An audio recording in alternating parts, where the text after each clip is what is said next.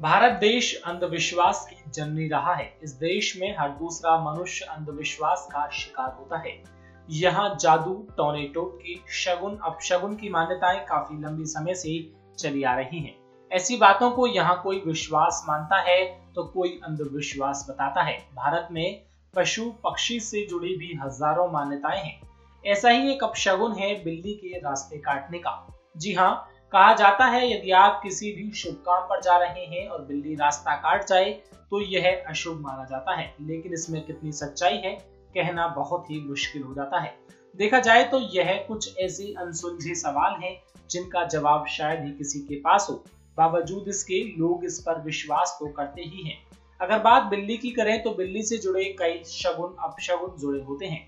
बिल्ली का रास्ता काटना सिर्फ़ अशुभ नहीं, बल्कि शुभ भी माना जाता है। यदि बिल्ली बाई तरफ़ से रास्ता काटती हुई दाई तरफ़ जाए तो इसे अशुभ संकेत माना जाता है। और अगर इसका उल्टा होता है तो ये एक शुभ संकेत है। ऐसा भी कहा गया है कि अगर बिल्ली घर में रखा दूध चोरी से पी जाए तो ये रुपए, पैसे की हानि की तरफ़ इशारा करता है। नेक्स्ट नाइन, भक्ति सागर से आकाश की रिपोर्ट।